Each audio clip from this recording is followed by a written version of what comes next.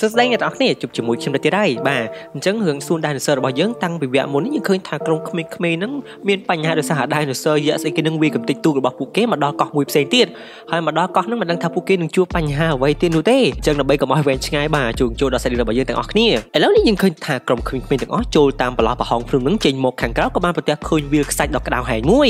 បាទមិនដឹងថាពេលនេះពួកគេនៅទីណានោះទេម្នាក់ម្នាក់ក៏ចាប់ផ្ដើមថាអ្មិនទេវើយចេញពីកោះ dinosaur មកកោះក្តៅហែងនេះតើយើងនឹងមានបញ្ហាអ្វីទៀតទៅរីឯ Kenji របស់យើងវិញបាទគាត់នឹងក៏បាន Steve Daria ថាអ្មិនទេយើងងាប់ពីរស់ Daria Daria ប្រាប់ថាគ្មានទេយើងនៅរស់ក្នុងកំឡុងពេលនោះផងដែរយើងក៏បានប្រទះឃើញថា Ben របស់យើងនឹងសម្លឹងពីចម្ងាយក៏ឃើញអ្វីចាំងចាំង Ben ក៏គិតថា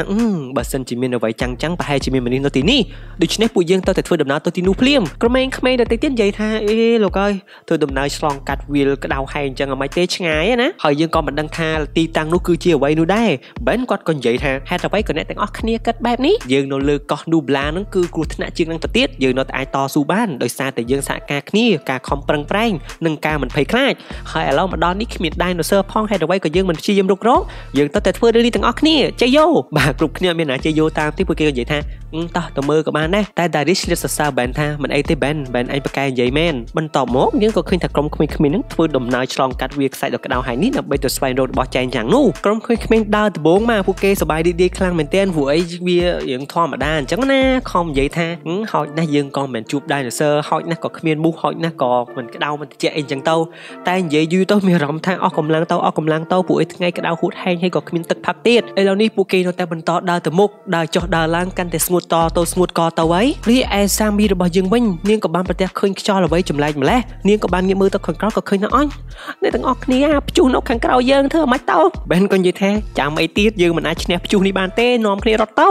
បាទពេលដែលពួកគេរត់ចុះឡើងក៏ឃើញថាព្យុះនឹងកំពុងតែរុំព័ទ្ធពួកគេដូចគ្នាហើយទោះជាពួកគេនឹងប្រឹងយ៉ាងណាក៏ដោយបាទក៏នៅតែព្យុះនឹងបានគ្របដណ្ដប់ពួកគេដែរឥឡូវនេះម្នាក់ម្នាក់គឺថាវែងឆ្លុបមើលអត់ឃើញនោះទេដោយសារតែខ្យល់ខ្លាំងផងដីចូលភ្នែកផងដូច្នេះពួកគេក៏បានវែងគ្នាតែយ៉ាងណាក៏ដោយយើងក៏បានប្រទះឃើញថា Ben Daria Sami រួមជាមួយនឹង Yasmin នឹងក៏បានជុំគ្នាតែចំពោះ Brooklyn រួមជាមួយនឹង Kenji វិញបាទពួកគេនឹងក៏បានរអិលធ្លាក់ចូលទៅក្នុងជ្រោះមួយកន្លែងពេលតែធ្លាក់មកដល់យើងឃើញថា Brooklyn របស់យើងនឹងក៏កិនលើ Kenji ហើយ Kenji នឹងគាត់ក៏ចាប់ផ្ដើមមានអារម្មណ៍ចម្លែកខ្លាំងមែនទែនណាទៅលើ Brooklyn តែ Brooklyn បានខ្វល់អ្វីច្រើនទេនាងក៏បានប្រញាប់ប្រញាល់ងើបមកវិញដើម្បីស្រែកសុំជំនួយរីឯអ្នកនៅខាងលើនេះវិញក៏កំពុងតែស្វែងរកពួកគេដូចគ្នាមិនដឹងថាបាត់ទៅណានោះទេពេលដែលដល់ដល់កន្លែងមួយ Daria របស់យើងក៏បានផ្ទះឃើញអាវរបស់ Brooklyn ហើយក៏ទៅយកអញ្ចឹងរួចក៏រអិលចូល best ធ្លាក់នឹងក្នុងជ្រោះនឹងដែរប៉ុន្តែគ្នាគ្នារបស់ខ្លួននឹងក៏បានជួយតាន់អញ្ចឹងពេលនេះពួកគេដឹងថាប្រហែលជា Brooklyn រួមជាមួយនឹង Kenji ធ្លាក់ចូលទៅក្នុងរោងភ្នំមកអញ្ចឹងបានមួយសន្ទុះព្យុះក៏ចាប់ផ្ដើមស្ងាត់ទៅវិញប៉ុន្តែពេលនេះពួកគេមិនដឹងថា Brooklyn រួមជាមួយនឹង Kenji ទៅណានោះឡើយរីឯពីរនាក់នេះវិញកំពុងតែស្រែកសុំជំនួយដូចគ្នា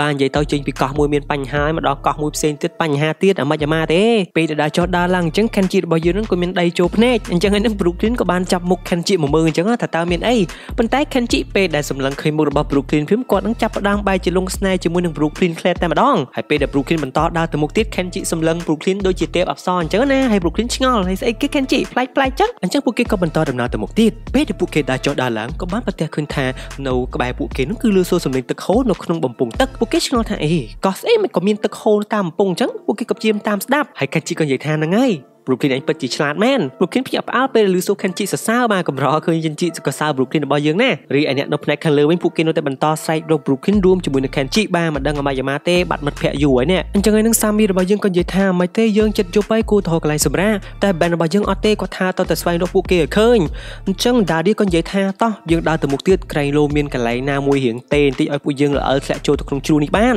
ពួកអាចហក់ចុះទៅធម្មតាបានទេអាចនឹងមានបញ្ហាអញ្ចឹងណាដូច្នេះពួកគេទាំងអស់គ្នាក៏បញ្ញាបញ្ញារត់ទៅមុខទៀតចំណែកឯ Kenji រួមជាមួយនឹង Brooklyn ក៏បន្តតាមស្វែងរកសម្លេងទឹកហ្នឹងតែ Brooklyn ចេះតែឆ្ងល់ថាហេតុអ្វី Kenji នឹងសម្លឹងមើលនាងរៀងប្លែកប្លែកម៉េះអេ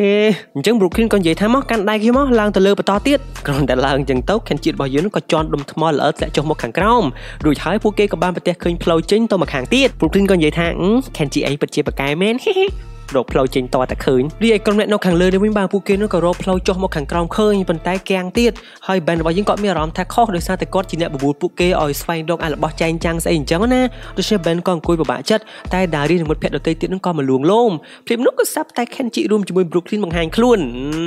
សប្បាយវិញហើយបានជុំគ្នារួចហើយ Brooklyn របស់យើងក៏សរសើរ Kenji ចឹងណាថារកផ្លូវចេញឃើញតែ Kenji ក៏អត់យកមុខយកមាត់ទេលើកនេះ Kenji ប្រហែលជាគាត់ចាប់ផ្ដើមមានស្នេហាអញ្ចឹងគាត់ក៏កែប្រែចរិតចឹងណាហើយគាត់ក៏បាននាំពួកគេទៅមើលកន្លែងពិសេសមួយមួយដែលនេះគឺជាកន្លែងដែលមានទឹកតក់តក់បាទអញ្ចឹងម្នាក់ម្នាក់បានផឹកទឹកសប្បាយខ្លាំងណាស់ដើរអស់កម្លាំងមួយថ្ងៃហើយគ្មានទឹកផឹកហ៎ឬក៏ប្រទះឃើញផ្លែ berry អ្វីមួយយ៉ាងហ្នឹងពួកគេក៏នាំគ្នាហូបប៉ុន្តែ band របស់យើងគាត់សង្ស័យថាផ្លែ berry នេះអាចជាប្រភេទផ្លែពុលដូច្នេះហើយគាត់ក៏បានឲ្យមិត្តភ័ក្តិរបស់គាត់ខ្ជាក់ចេញអស់ទៅកុំហូបអីយ៉ាត់មានបញ្ហាព្រោះគាត់ខ្លាចតែគាត់សម្រេចចិត្តធ្វើអីទៅខុសទៀតអញ្ចឹងណាអញ្ចឹងឥឡូវនេះมันអាចចាំបានទេបាទដោយសារតែពួកគេនឹងបញ្ញាបញ្ញាអញ្ចឹងតើទៅស្វែងរកអវត្ថុចែងចាំងនឹងថាតើវាគឺជាអ្វីហើយអ្វីបានជាទីនេះមានបំពង់ទឹកមានអីអញ្ចឹងឥឡូវនេះពួកគេកំពុងតែធ្វើដំណើររត់យ៉ាងលឿនដោយសារតែមេចិត្តយប់ហើយពេលដែលពួកគេរត់មកដល់កន្លែងចែងចាំងហ្នឹងក៏បានប្រទះឃើញថាវាគ្រាន់តែជាបន្ទះដែកយ៉ាងធំមួយប៉ុណ្ណោះតើនរណាគេយកបន្ទះដែកនេះមកដាក់កន្លែងហ្នឹងអញ្ចឹងណាហើយដើរមើលជុំវិញនោះទៅក៏ប្រទះឃើញមានឆ្អឹងដូច្នេះពួកគេសង្ស័យថាអញ កន្លែងនេះទីជាសម្បុករបស់ស្អីទៅគ្នាយើងឥឡូវនេះមេឃក៏ចាប់ផ្ដើមយប់អញ្ចឹងពួកគេក៏បានរកកន្លែងសម្រាកដោយការដុតភ្លើងអាំងអញ្ចឹងទៅពួកឯកន្លែងនេះតែពេលមេឃយប់គឺដឹងតែត្រជាក់ហើយអញ្ចឹងពេលនេះពួកគេអង្គុយស្ងាត់ឲ្យជ្រាបតែម្ដង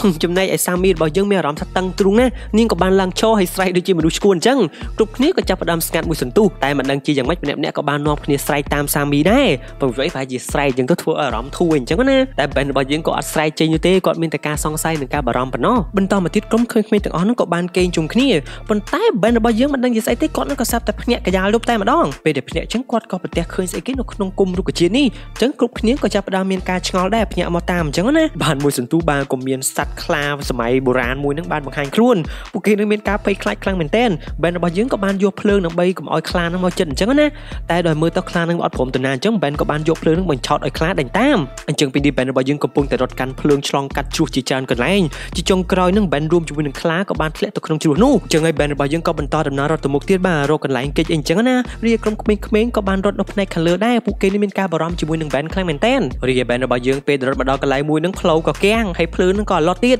តើពេលនេះគួរតែធ្វើយ៉ាងណាដោយសារតែខ្លានេះវាពិតជាធំខ្លាំងមែនតើបានមួយសន្ទុះខិនជីរបស់យើងនឹងក៏ហក់ចុះមកអោក្បាលខ្លានឹងអញ្ចឹងណាឬហើយពួកគេក៏បញ្ញាបញ្ញាបោរត់ចេញពីទីនោះរីឯអ្នកផ្សេងទៀតនឹងកំពុងតែបញ្ឆោតធ្វើយ៉ាងណាក៏ដោយឲ្យខ្លារត់ឆ្លងកន្លែងនេះទៅពួកគេដាក់ថ្មដើម្បីបាំងផ្លូវខ្លានោះតែស្ទាក់យ៉ាងណាក៏ស្ទាក់អត់ជាប់ដែរអញ្ចឹងហើយនឹងក្រុមក្មេងៗទាំងអស់ក៏បានរួមសហការគ្នាស្រែកមួយទំហឹងតែម្ដងហើយចាប់ផ្ដើមយកដុំថ្មគប់ខ្លានោះចំណែកខ្លានោះក៏ចាប់ផ្ដើមមានការភ័យខ្លាចដែរទៅវានឹងក៏រត់ចាក់ចេញបាត់ទៅឃើញទេបាទដោយសារតែការសហការគ្នានឹងការចេះជួយគ្នាឥឡូវនេះក្រុមក្មេងៗរួចផុតទុកពីខ្លាបិសាចស្អីគេនឹងទៀតហើយប៉ុន្តែ band របស់យើងនឹងគាត់ក៏ចាប់ផ្ដើមពិបាកចិត្តដោយសារតែអី ព្រោះមួយរយៈចុងក្រោយនេះគាត់រៀងខ្លាចគ្រប់រឿងតែម្ដងគាត់គិតថាប្រហែលជាគាត់នឹងត្រឡប់ទៅរកមនុស្សភ័យខ្លាចកាលពីមុនវិញហើយប៉ុន្តែគ្រប់គ្នាបាននិយាយថា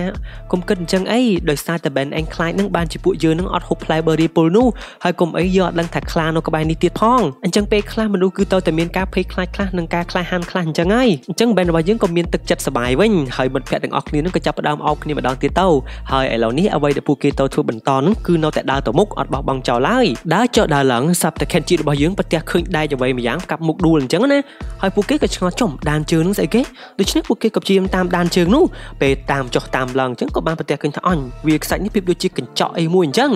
ពួកគេក៏បានដាក់ដៃស្ទាបទៅលើនឹងអញ្ចឹងណារួចហើយក៏សាប់តែមានទ្វារមួយបើកបង្ហាញឡើងអញ្ចឹងថាតើទ្វារនេះគឺជាទ្វារទៅទីណាអឺ ចង់ដឹងថាទ្វារអីគេនោះគឺមានតែតាមដាននៅវគ្គក្រោយដូច្នេះវគ្គនេះគឺចប់ត្រឹមតែប៉ុណ្ណេះអញ្ចឹងខ្ញុំចាប់ផ្ដើមឆ្ងល់ថាតើទ្វារនេះគឺជាទ្វារអីបាទគ្នាយើងក៏មិនខកពីខ្ញុំដែរមើលតើអញ្ចឹងចង់ដឹងថាយ៉ាងម៉េចយ៉ាងម៉ានេះជួបគ្នានៅវគ្គក្រោយ